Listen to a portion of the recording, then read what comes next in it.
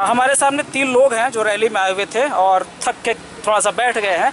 ये लोग अभी पाँच किलोमीटर चल चुके हैं और पंद्रह किलोमीटर और चलना है। सबसे पहले मैं आपसे जानना चाहूँगा कि ये जो पूरा मुद्दा क्या क्या है और आम जनता को बताइए कि इतना आक्रोश क्यों है?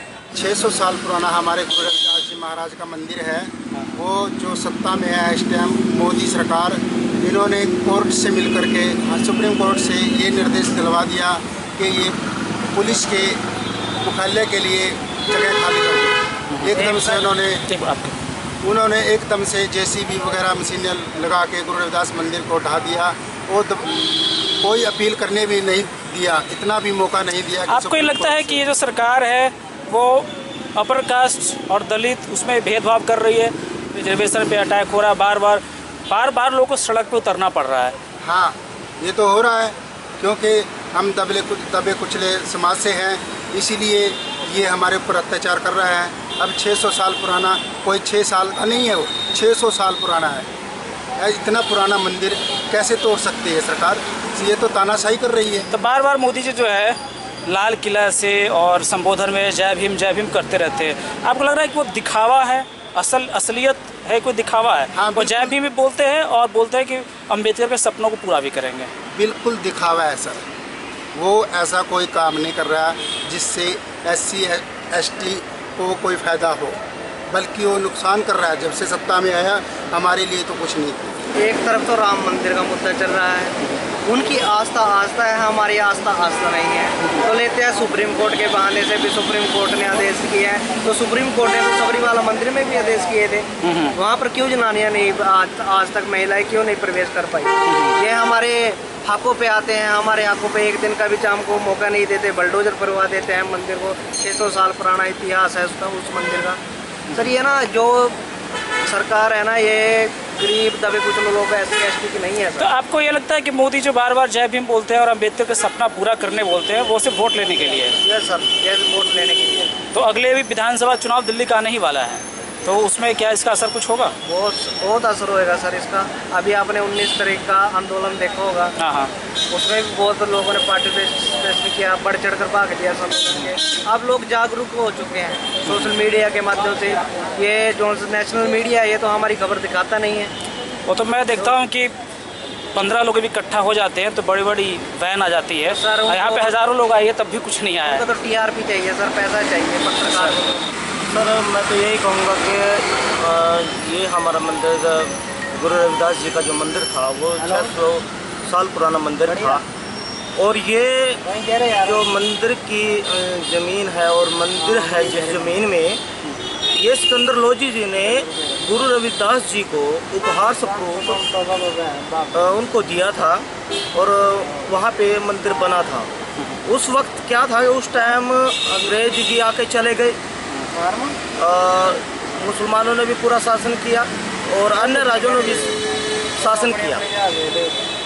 उस टाइम ना तो डीडीए था और ना ही सुप्रीम कोर्ट था, लेकिन गुरु रविदास जी का मंदिर वहीं पे था।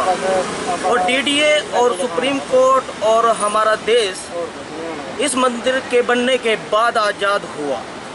फिर ये कैसे हो गया कि ये ज़मीन डीडीए की है? और सुप्रीम कोर्ट ने ये कैसे आदेश दे दिया कि ये ज़मीन डीडीए की है? और इससे हमारे दिलों में बहुत रोष है। मैं सरकार से अपील करता हूँ कि हमारे गुरु रविदास जी का मंदिर वहीं पर स्थापित किया जाए और हमें सम्मान दिया जाए। अच्छा आप आपकी जानकारी बहुत ज़्यादा है मैं आपकी बातों से लगा। आ, मुझे याद आ रहा है कि बनारस में भी एक रविदास मंदिर है बी एच के ठीक बगल में। मैं वहाँ पे गया था एक बार। आ, मोदी जी जब चुनाव के पहले जब वोट लेना था तो मोदी जी वहाँ मत्था टेक के आते हैं। ठीक है।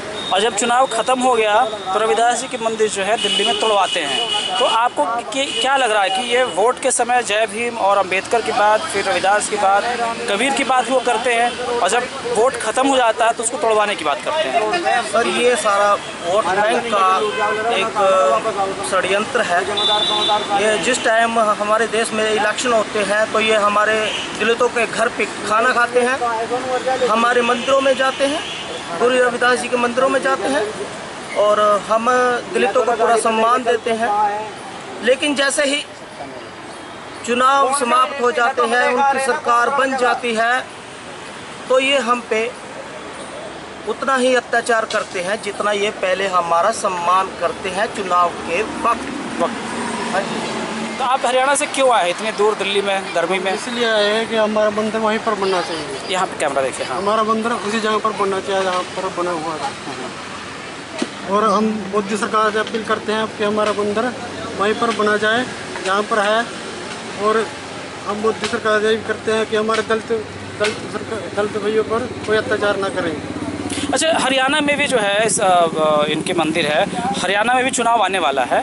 और दिल्ली में भी चुनाव आने वाला है। तो आप सब बताइए जल्दी से कि चुनाव वोट देते समय जनता क्या सोचेगी? क्योंकि पिछली बार क्या हुआ था कि पिछली बार हुआ कि इलेक्शन से पहले वो रविदास मंदिर बनारस गए, उसके बाद कबीर मंदिर भी वो गए और भी कई जगह मत्था टेके अंबेडकर भवन का उन्होंने दिल्ली में उद्घाटन किया और वोट ले लिया।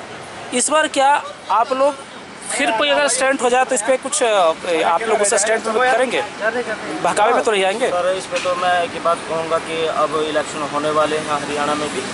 दिल्ली में। भाई। हरियाणा में भी और दिल्ली में भी सर। तो इस बात को तो दिलीप भाई हमारे अपने जहन में रखेंगे कि ये जो सरकार है बीजेपी सरकार है या अन्य कोई भी सरकार है ये हम पे हमेशा अत्याचार करती आई है। सर ये देख लो ना हरियाणा में पहले तो इन्होंने दो एस सी एस टी दो कैटेगरी में डिवाइड करते ए बी में कर दिए। अब इनको लगा भी अब ये एक साथ ना आ पाए। मुस्लिम संगठन सिख सिख मुस्लिम दलित एकता एक साथ ना आ पाए। उसके बाद इन्होंने क्या किया? S C S C S T A B में डिवाइड कर दिया। उसके बाद इन्होंने सोचा भी अकेले अकेले कौन को दबाओ। इनके ऊपर अत्याचार करो। भी ये कभी भी साथ ना पाए। ओके धन्यवाद।